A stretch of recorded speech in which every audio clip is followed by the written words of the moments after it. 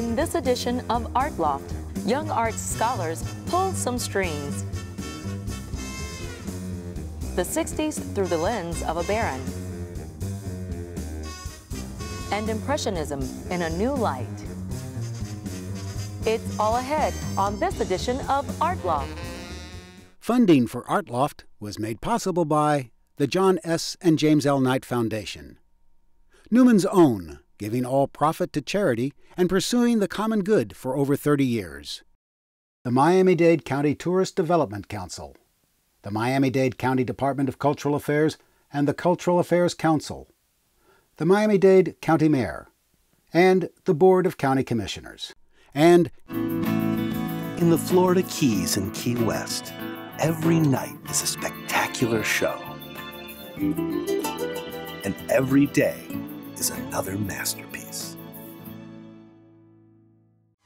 Hi, I'm Kalyn James, and from Florida International University's Frost Art Museum, this is Art Loft.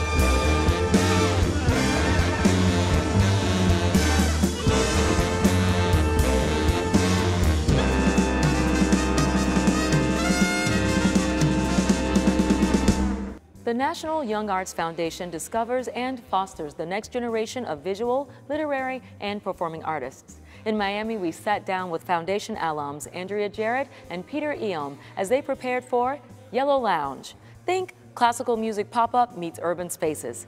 Here the musicians spoke about fear's motivation, the essence of individuality, and more.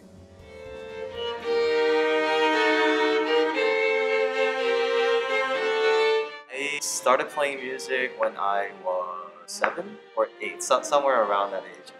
You know, it's like the Korean culture, the Eastern culture, to pick up a classical instrument. I chose a cello because I was an unathletic boy and I wanted to sit down when I performed instead of standing up. I looked uncomfortable. I've always played the violin. I didn't start on any other instrument, and I started when I was three years old. The scariest part of what we do right now is these auditions. You know, they can be as short as five minutes, probably no longer than 10 minutes. And when you're playing multiple notes at the same time, they not only have to be in tune in the general scale, but they all have to be in tune with each other. And sometimes it's four notes at once. And in that short amount of time, you just have to deliver immediately.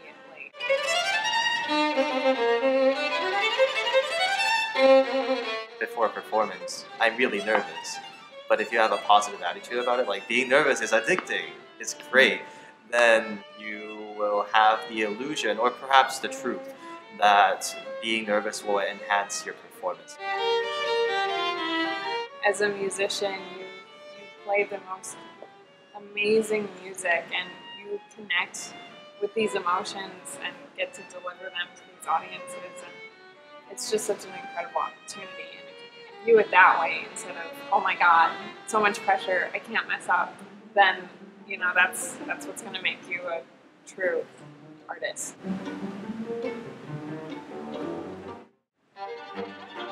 It's important to never lose optimism and to never lose hope that you will make something special out of not your ability, but purity of your ideas, something that's very individual to yourself, something that only you can offer to the audiences of the world.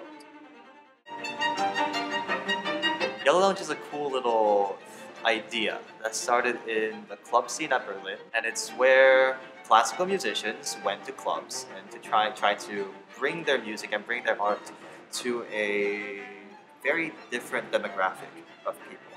So it's a very cool vibe to involve what in our world is a completely different world of music.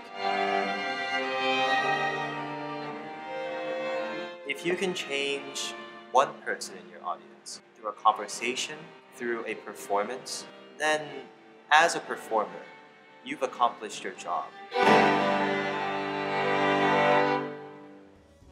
Young Arts serves as the exclusive nominating agency for the U.S. Presidential Scholars in the Arts, the country's highest honor for young students.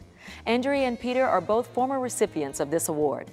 The Foundation's national headquarters are now in the historic Bacardi Building on Biscayne Boulevard, and if you'd like to learn more about Young Arts, visit youngarts.org. To attend the next Yellow Lounge pop-up, log on to yellowlounge.com. Similarly, people look at uh, the works of artists like El Greco and Giacometti and uh, Modigliani, and all of those artists would paint or do sculptures in a very elongated, exaggerated sort of fashion. Baron Wolman is an original photographer for Rolling Stone magazine. His images, taken during San Francisco's psychedelic music scene of the 1960s, became the blueprint for rock and roll photography. Wolman not only witnessed the most important period of change in popular music and popular culture, but his photographs helped shape it. Rolling Stone magazine spoke to this evolving youth culture in a language that was all its own, and Baron's photographs captured the events and personalities and visualized the music. Our next film, I See the Music, is a portrait of Baron Wolman, directed by local filmmaker Mark Moorman. Let's take a look. My name is Baron, Baron Wolman. I was born in Columbus, Ohio, 1937. I had been in the Army and was trying to figure out what I wanted to do. I decided, okay, I'm going to be a photographer. And I loved San Francisco, so I moved to San Francisco. And fate brought me to the Haight at the very exact time I should have been in the Haight. So I got there 64, 65 you know, every day I'd go out and walk around and go out to the panhandle of the Golden Gate Park and there'd be some music going on. Walk down to Haight Street, and there'd be people looking cool with new kinds of clothes, and there'd be concerts in the park. And, you know, there I was in San Francisco, all this stuff was happening. So I started talking to the magazines about, you know, we got to do stories about what's happening. This is a revolution here in the Haight Ashbury where I was living. I was a photojournalist in 67. I was at the right place at the right time. What happened was I met Jann in April of 1967, and he was 21 years old. He was a student at Cal Berkeley. He was writing for some alternative newspapers in San Francisco. A really intelligent, hugely talented guy. And he said, I got this idea. What do you think? I said, well, it sounds like a good idea to me, you know. And he said, well, I, am going to need a photographer. You know, you want to be the photographer? I said, sure, I'll be the photographer. And then in 67, it exploded. Summer of Love was 67. By then, the you know music was being played everywhere. The Avalon Ballroom opened, the Fillmore Ballroom opened, and you know, music just became a part of our lives. The actual first assignment for Rolling Stone that I had was to cover the Grateful Dead. They had just been busted for dealing pot or smoking pot or holding pot, I don't know what. So we were going to do a story about that. And so they had this press conference. They invited all the media from the Bay Area, and they held it at their home, that very famous house in the Haight Ashbury. And then afterwards, you know, Jann said, get a group portrait of them. And they were wild. They were crazy. They had been so high for this press conference. I couldn't settle them down. And they came out with, they pointed guns at me, you know, and they were giving me the bird, flipping the bird stuff. I was like, am I going to get out of here alive? You know, I'm not so sure. I shot a whole bunch of pictures. You know, I just kept shooting, shooting, shooting. So I figured one of these has to be good. And one of them actually did turn out to be good, kind of an iconic photo. Well, the first days are the hardest days, don't you worry. It wasn't till about a year and a half later, finally, Jann decided to do a cover story on the Grateful Dead. The band came over to be photographed. I did portraits of each of them individually. And Jerry Garcia was thank God, in a really good mood. I mean, look at his eyes, that look at his eye, that sparkle in his eye. There was one particular picture that turned out to be a very important picture. He held his hand up and he kind of like waved at me. And, and I took the picture. And then later on, when I printed the picture, I looked at it and I said, something's weird here. It took me two or three years later, somebody told me the story. When he was five years old, he and his brother were in the backyard chopping wood. And his brother said, Here, hold this piece of wood. And he hit it with an axe and he chopped off part of Jerry's finger. But that was the first time he had ever just like openly showed anybody with a big smile on his face that this is what happened to him. My first assignment from Rolling Stone to cover a concert live was a concert at the Cow Palace where The Who and a bunch of other bands were playing. And this shot of Pete Townshend I got I consider a gift from Pete to me because for some reason he's looking right at me, right at my camera. Because we had access in those days, the other photographers and I, Jim Marshall, really had opportunities to do intimate photographs, whether they were live or whether they were at the musician's home or wherever we interviewed them. A perfect example is when Jimi Hendrix came to San Francisco. It was the first time that he played the Fillmore for Bill Graham. First, we went over to his motel where he was staying, did a little interview, and he was sitting there talking quietly, you know, the way Jimi was talking quietly. And I did some really lovely portraits of him. The interesting thing about Jimi was was almost like a Dr. Jekyll, Mr. Hyde situation. He was so quiet and soft spoken when he wasn't playing. But then he'd get on stage and it was like 180 degrees. It was like a sparkler going on. It was hard to take a bad picture of Jimi Hendrix. He looked so cool. He dressed so cool. Everything about him was photogenic. I'll never forget that night when I was on stage with Jimi, And I was so in tune with the band. And it was an amazing moment. I felt like I was part of the band. I was so connected to what they were doing. But this one captures the moment. It captures the euphoria of being a musician. That is a peak moment. The next moment, it didn't look that good. The other thing, too, that I, I really understood that night is that if you, when you're doing action pictures, if you see the picture you want to take in the frame, in the viewfinder, it's gone. You've missed it. I was over at Janis Joplin's house. She lived around the corner from me. You know, Janis had a dark side and a light side, and I knew that. But I didn't want the dark side of Janis. I basically wanted the light side. She was just a kid. She was in her early 20s, you know. And I knew if you're in your early 20s, there's got to be a little girl left in there somewhere, you know. We were taking pictures in her bedroom, and I noticed that across from her bed, on one wall, that whole wall was papered with these posters. So I decided to pose her in front of these posters. And I, that was the one time I let her get dark. In this photograph, like almost all the photographs that I took, it was done with natural light. And I didn't have any lights with me. I didn't drag any lights. I hated flash. It looks like it was a studio setup, but it wasn't. I really remember this afternoon. I mean, I was very nervous about going up and taking pictures of Frank Zappa. It was clearly going to be a cover story for Rolling Stone.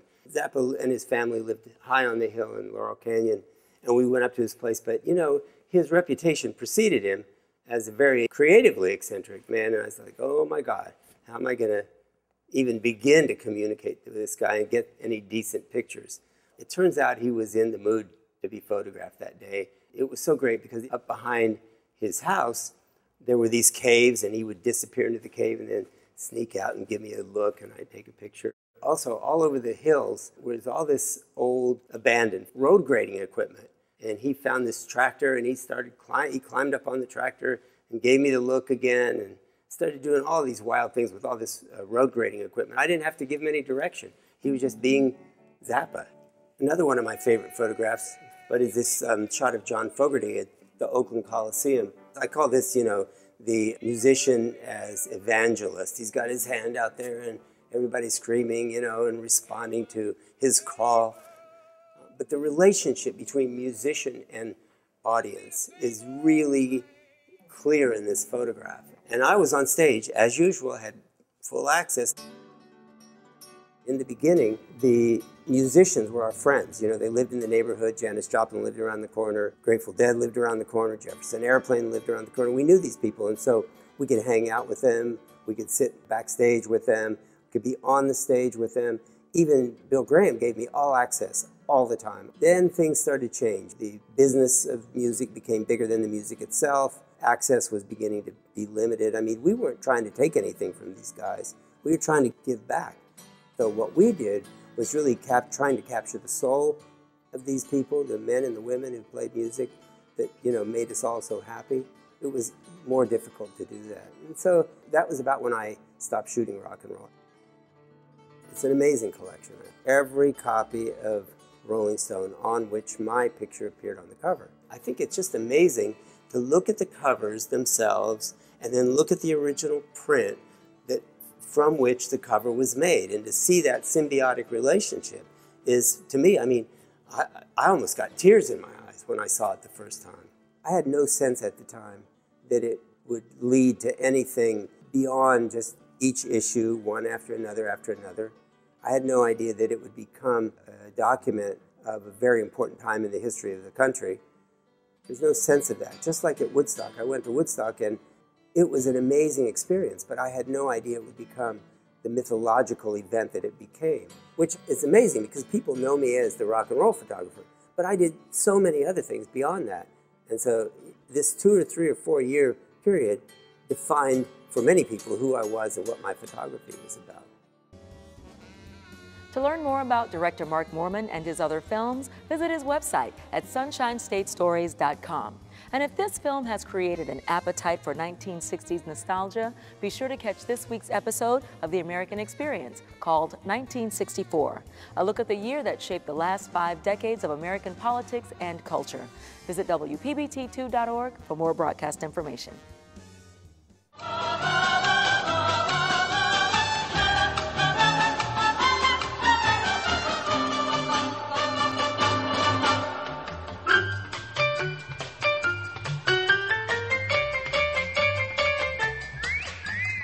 The Impressionists' blurred brushstrokes shocked the art world in the late 1800s. In this next story, you'll be surprised to find out what some experts now believe was the reason for this style of art.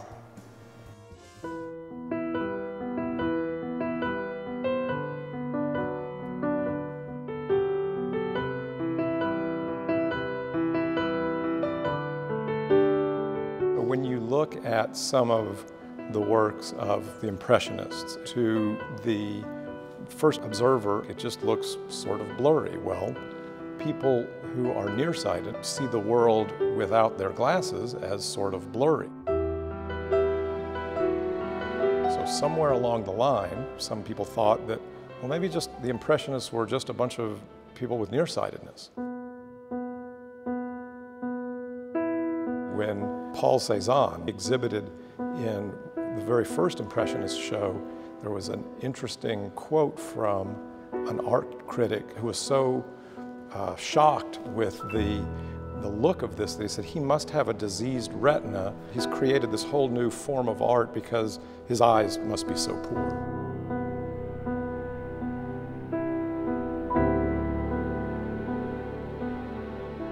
Similarly, people look at uh, the works of artists like El Greco and Giacometti and uh, Modigliani, and all of those artists would paint or do sculptures in a very elongated, exaggerated sort of fashion.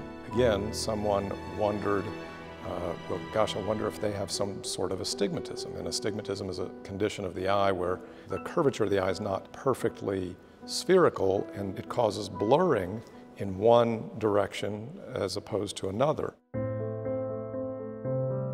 And it turns out that Impressionism is way more than just an eye condition. I mean, it's a, a, a revolutionary movement in art in France in the late 1800s. And, you know, glasses were widely available then. There was not any such thing as somebody that went without glasses. Edgar Degas was really one of the founding fathers of French Impressionism. He suffered from a loss of vision in one eye in his early 30s, and he was basically legally blind in both eyes uh, by about his mid 30s. He lost vision in the macula, the centermost part of the retina that's responsible for our fine detailed vision. And this shows up in his works where early he does these exquisite paintings of uh, girls in the ballet school, for example. And, and he would paint that over and over and over again. But then there's some very late Degas uh, pastels where he's painting the same theme, a, a ballet dancer. But you can tell that the contrast between his earlier style and the later style is just a lot more coarse. The details are kind of lost, and it's very evident when you compare those two works that he's lost vision.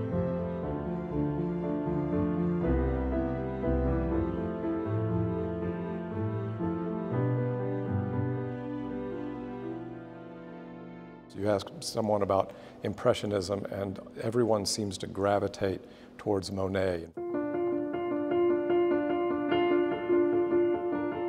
Monet ends up having cataracts late in his life. And these cataracts develop in roughly the 19 teens to 1920s. And cataract surgery was possible, but it was not nearly as sophisticated as it is now. He eventually after seeing six ophthalmologists, ends up having cataract surgery, but up until that point, we can kind of see a gradual deterioration in his vision. A cataract will absorb blue, violets, and greens, and so it leaves the world sort of a muddy color.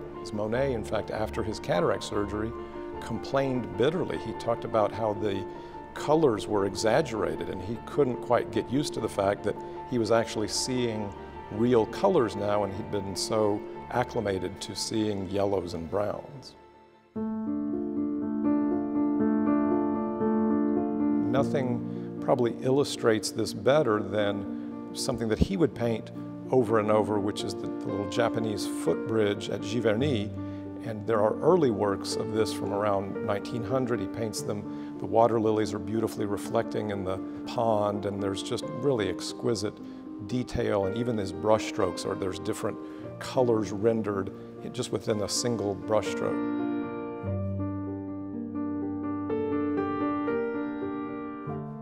And then we get to a, a, much later work in about 1922. He paints that same uh, Japanese footbridge, and now the colors are way off. They're yellows and browns and very muddy because of a very, very thick cataract. And he's looking through these cataracts and painting through this, and that work from 1922 really reflects his poor vision that he was struggling with at the time.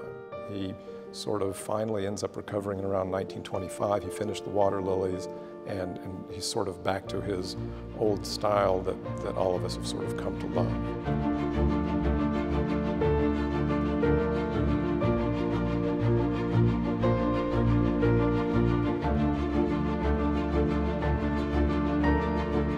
Idea that Impressionism might have been born out of uh, just a need for glasses is, is probably pretty inaccurate.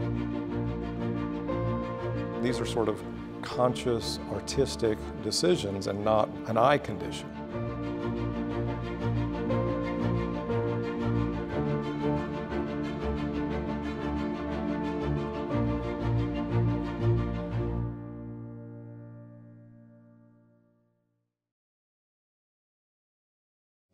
Remember, for more arts and culture, visit WPBT2.org slash artloft, where you'll find feature videos, blogs, and information on upcoming arts events. And you can also watch past episodes of Art Loft. And be sure to look for us on Facebook and Twitter at ArtLoftSFL. Until next week, I'm Kalyn James reminding you to stay creative. Thanks for watching.